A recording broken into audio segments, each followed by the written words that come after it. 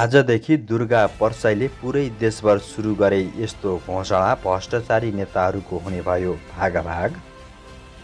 चितवनमा बोराभित्र स भेटिएका कोष अझै पहिचान भएन प्रहरीले सार्वजनिक गर्यो स्केच श्रीमतीको हत्या गरेको आरोपमा एकजना पक्राउ। यात्रु छुट्दैछन् भने थाहा भएको भए म छिटै जाँदैन जाँदैन थिएँ प्रधानमन्त्री प्रचण्ड हेटौडामा सवारी दुर्घटना हुँदा दुईजनाको मृत्यु घरमा रुवावासी।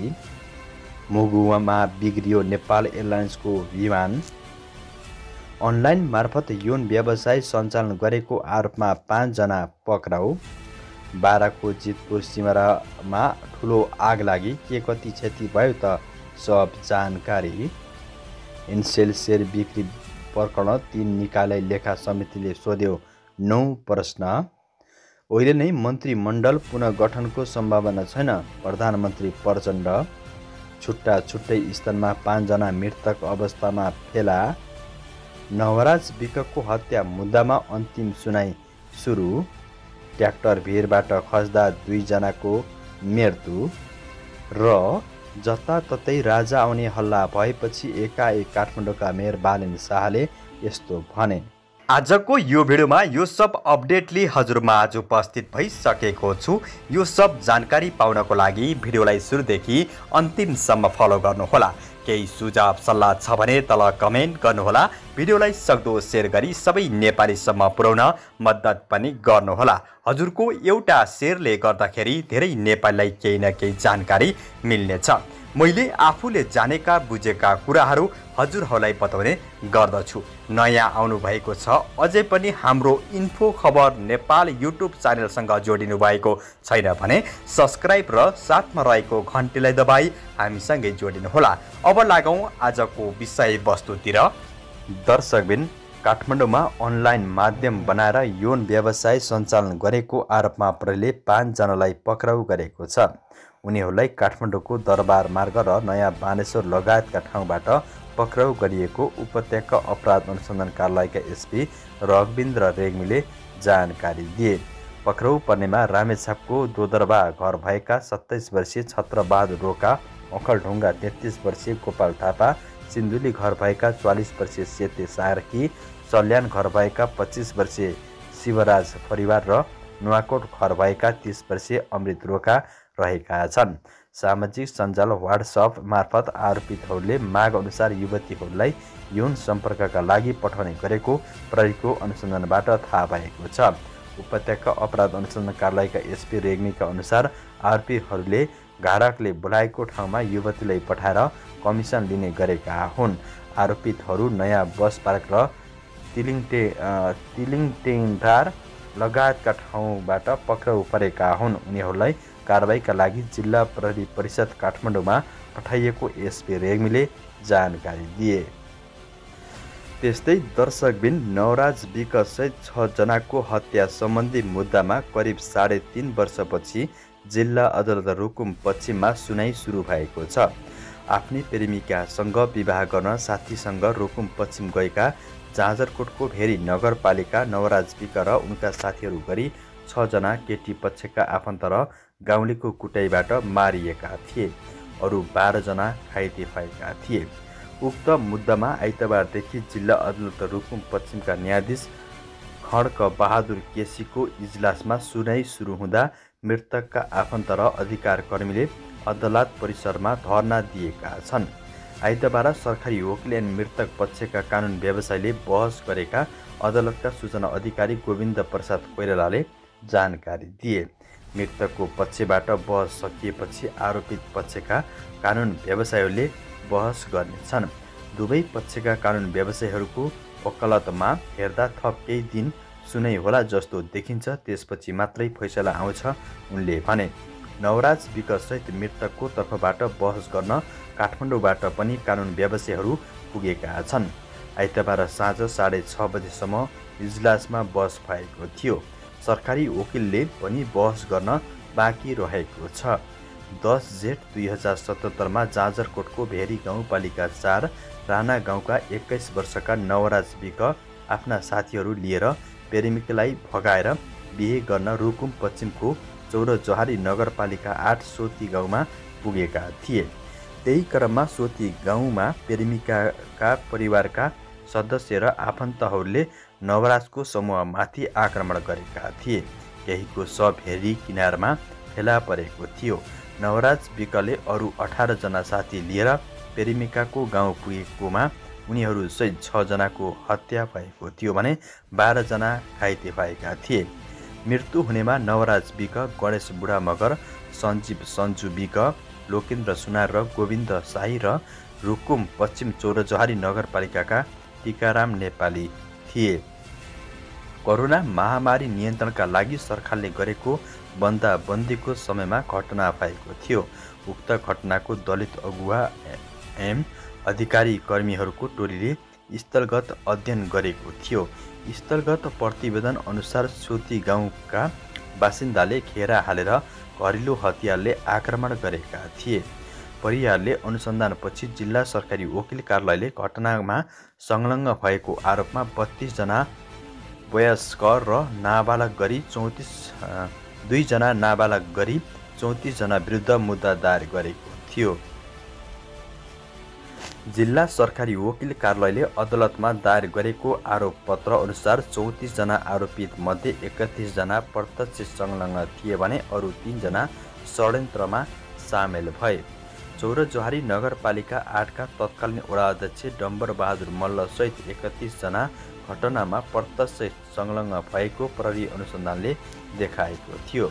प्रहरीले नवराज विककी प्रेमिका भनिएकी किशोरी उनकी आमा र किशोरीका ठुलो बाबु इन्द्रबहादुर मल्ललाई घटनाको षड्यन्त्रमा सामेल भएको आरोप लगाएको थियो। इन्द्रबहादुर भन्ने रुकुमका नभई जाजरकोटको खलङ्गामा बस्थे। उनी बाहेक मुद्दा लागेका सबै चौरजहारी आठ स्थित सोती गाउँका बासिन्दा हुन्। घाइते तथा मृतकको आफन्तको बयान अनुसार यो त्यो दिन नवराजले भगाउन खोजेकी युवतीको घर नजिकै पुग्ने बित्तिकै ढुङ्गा मुढा सुरु भएको थियो। लखेटेर हत्या गरिएका उनीहरूको सब हेरी नदीमा फालिएको आरोपपत्रमा उल्लेख गरिएको छ। आरोपितलाई कुरातपूर्वक ज्यान मारेको अभियोग लगाइएको छ।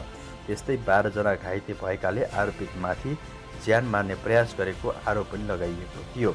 आरोपपत्रमा क्रूरतापूर्वक हत्या गरेको घाइतेहरूको हकमा ज्यान मार्ने प्रयास गरेको अपहरण गरी शरीर बन्धक बनाई हत्या गरेको आरोप छ। उनीहरूमाथि जातीय भेदभाव तथा छुवाछुत गरेको आरोप पनि छ। आरोपितमाथि जन्मकैदको सजाय हुनुपर्ने माग दावी गरिएको छ। त्यस्तै दर्शकबिन चितवनमा बोराभित्र सब फेला परेका पुरुष र महिलाको अझै पहिचान हुन सकेको छैन। गत मङ्सिर छ गते भरतपुर महानगरपालिका वार्ड नम्बर बाह्र मिलन चोक स्थित पूर्व पश्चिम लोकमार्गको गोद्राण केन्द्रीय बस टर्मिनल सडक खण्डको करबट मुनि पुरुष र महिलाको शव फेला परेको थियो। दुईवटा बोराभित्र हातखुट्टा बाँधिएको अवस्थामा शव फेला परेको थियो तर सबको पहिचान हुन नसक्दा प्रहरीलाई अनुसन्धान गर्न गाह्रो भइरहेको छ। प्रहरीले आइतबार पुरुष र महिलाको पहिचानका लागि स्केच बनाएर सार्वजनिक पनि गरेको छ। प्रहरीले यसअघि मृतकका कपडाहरू सार्वजनिक गरेको थियो तर सबको शनाखत हुन नसकेपछि स्केच सार्वजनिक गरिएको प्रहरीले जनाएको छ। स्केच हेरेर उनीहरूलाई पहिचान हुन सकेमा सम्पर्कमा आउन परिवार तथा आफन्तहरूलाई प्रहरीले आग्रह गरेको छ। प्रहरीले परिवारका कोही सदस्य आफन्त तथा साथीहरू हराइरहेको भए घर कोठामा डेरा गरी बस्ने मानिस सम्पर्कमा नआए उद्योग कल कारखाना पसल लगायतमा काम गर्ने सम्पर्कबिन भएको भए वा यससँग सम्बन्धित सूचना खबर भएमा पनि आग्रह गरेको छ। त्यस्तै दर्शकबिन प्रधानमन्त्री पुष्पकमल दाहाल प्रचण्डले मन्त्रीमण्डल पुनः सम्भावना नरहेको बताएका छन्। आइतबार युए भ्रमण सकेर स्वदेश स्वदेश फर्किएसँगै विमानस्थलमा आयोजित पत्रकार सम्मेलनमा प्रचण्डले मन्त्रीमण्डल पुनः गठनबारे गठबन्धनभित्र छलफल नै नभएको स्पष्ट पारेका हुन्। प्रचण्डले मन्त्रीमण्डल पुनः बाहिर हल्ला फिजाउनका लागि मात्रै भएको बताए उनले भने सरकार गठन भएको बेलादेखि नै मन्त्रीमण्डल पुनः गठन हुन्छ। को मन्त्री हट्छ को आउँछ गृहमन्त्री हट्ने भन्ने कुरा धेरै भयो तर अहिले कुनै त्यस्तो हामीले गठबन्धनभित्र छलफल पनि छैन कुरा पनि छैन सोचेको पनि छैन। म आफै प्रधानमन्त्री छु मेरो दिमागमै छैन। त्यसकारण यो कुरा हल्ला मात्रै हो सत्यता छैन। प्रधानमन्त्री प्रचण्डले दुवै भ्रमणका क्रममा दुवै जानबाट वञ्चित भएका एकतिसजना यात्रुहरू छुटेको प्रति दुःख व्यक्त गरे। उनले आफूलाई दुई घन्टा अघि चार्दा सो यात्रुहरू छुट्छन् भन्ने जानकारी भए तोकिएको समयमै आफू जाने बताए। प्रचण्डले भने यदि मलाई दुई घन्टा अघि सारिँदैछ र त्यसो गर्दा एकतिसजना यात्रु छोड्दैछ भन्ने थाहा भएको भए म दुई घन्टा छिटो जाँदैन थिएँ। जुन समय हो त्यही समयमा जान्थेँ। उहाँ पुगेपछि मेरो कारणले दुई घन्टा छिटो ल्याउन खोज्दा छुटेको भन्ने थाहा पाएँ। प्रधानमन्त्री प्रचण्डले समर्गमा कोप अठाइसमा नेपालको तर्फबाट महत्त्वपूर्ण प्रस्ताव र कुरा राखेको बताएका छन्। त्यस्तै दर्शकबिन जितपुर सिमरा उपमहानगरपालिका वार्ड नम्बर आठ स्थित नेपोभिट टाइल्स कम्पनीमा आग लागि भएको छ।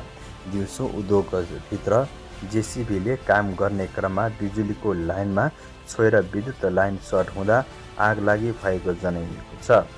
आग लागि दिउँसो करिब तिन बजेदेखि सुरु भएर साँझ पाँच बजेपछि मात्रै नियन्त्रणमा आएको थियो।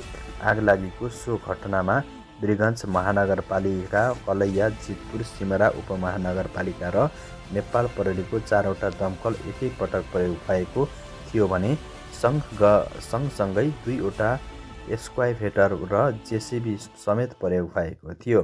घटनामा उद्योगभित्र रहेका कच्चा पदार्थ tyre tile packing machine cutting machine carton जलेर नष्ट भएको कम्पनीका प्लान्ट इन्चार्ज वर्दी कण्डेलले जानकारी दिए।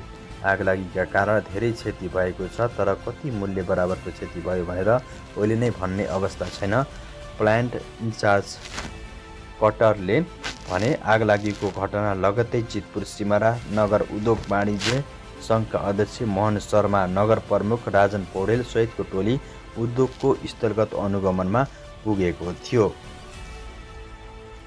त्यस्तै दर्शकबिन मकवानपुरको हेटौडामा सवारी दुर्घटनामा परेर दुईजनाको मृत्यु भएको छ। हेटौडा सोह्र स्थित पानी स्वारमा ट्र्याक्टर दुर्घटना हुँदा दुईजनाको मृत्यु भएको जिल्ला प्रतिकारलाई मकवानपुरले जनाएको छ। आइतबार ट्र्याक्टर ब्याक गर्ने क्रममा अनित्र भएर ट्र्याक्टर भिरबाट खस्दा दुईजनाको मृत्यु भएको जिल्ला प्रतिकारलाई मकवानपुरका प्रहरी निरीक्षक प्रकाश शाहले जानकारी दिए। दिउँसो तिन तिस बजेको समयमा पानी स्वारा मध्य प्रदेश जिरो तिन डबल जिरो एक त उनसत्तरी सतासी नम्बरको ट्र्याक्टर आफै अनित्र भई भिरबाट तिन सय मिटर तल खसेको उनले बताए। उनका अनुसार दुर्घटनामा ट्र्याक्टर चालक बारा जिल्ला निजगढ तेह्रका छब्बिस वर्षीय डिलम थिङ र ट्र्याक्टरमा सवार सोही स्थानका छप्पन्न वर्षीय जित बहादुर थिङ रहेका छन्। उनीहरू दुवैको घटनास्थलमै मृत्यु भएको छ।